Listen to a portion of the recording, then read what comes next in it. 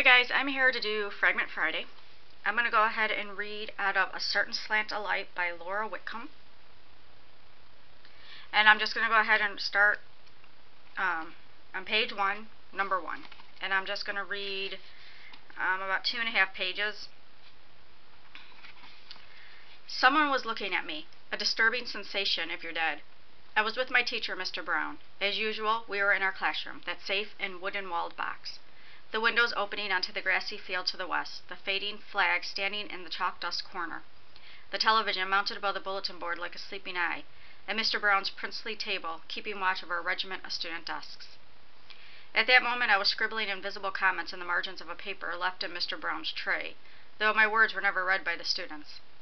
Sometimes Mr. Brown quoted me, all the same, while writing his own comments. Perhaps I couldn't trickle the Perhaps I couldn't tickle the inside of his ear, but I could reach the mysterious curves of his mind. Although I could not feel paper between my fingers, smell ink, or taste the tip of a pencil, I could see and hear the world with all the clarity of the living. They, on the other hand, did not see me as a shadow or a floating vapor. To the quick, I was empty air.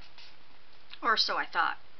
As an apathetic girl read aloud from Nicholas Nickleby, as Mr. Brown began to daydream about how he had kept his wife awake the night before, as my spectral pen hovered over a misspelled word, I felt someone watching me.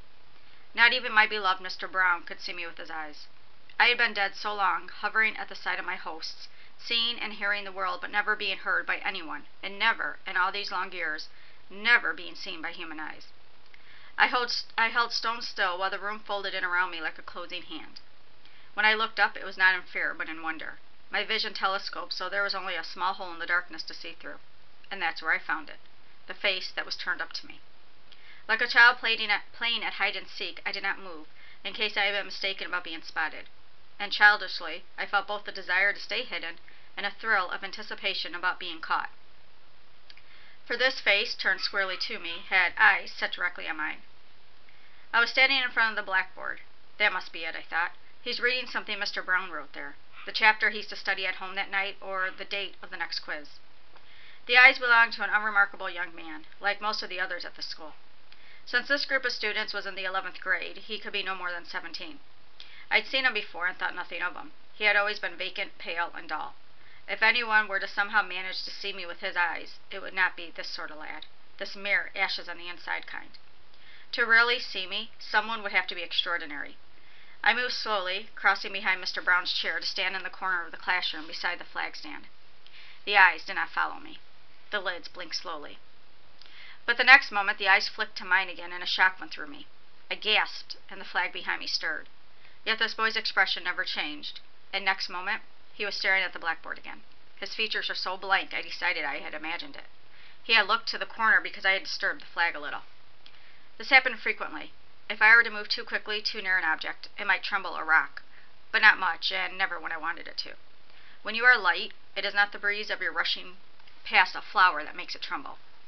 Nor is it the brush of your skirts that starts a drape fluttering. When you are light, it is only your emotions that can send a ripple into the tangible world.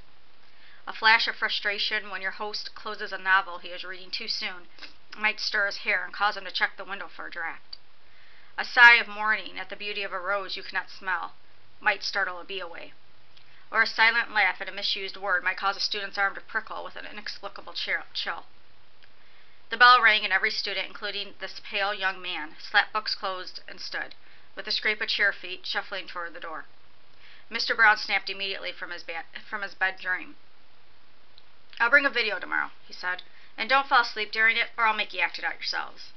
Two or three of his students groaned at this threat, but most were already gone, mentally, if not physically. So this is how it began. When you are light, day and night have less meaning. The night is not needed for rest. It's merely an annoying darkness for several hours. But a chain of days and nights is the way in which the quick measure their journeys. This is the story of my journey back through the quick. I would climb into flesh again for a chain of six days. I am on page 68 of this book so far. Um, so far, it's not a bad read. Um, yeah, I'll do a review on it, obviously, when I'm done. So, But yeah, that's my Fragment Friday, A Certain Slant of Light by Laura Whitcomb. Love the cover. Alright, talk to you guys later. Bye.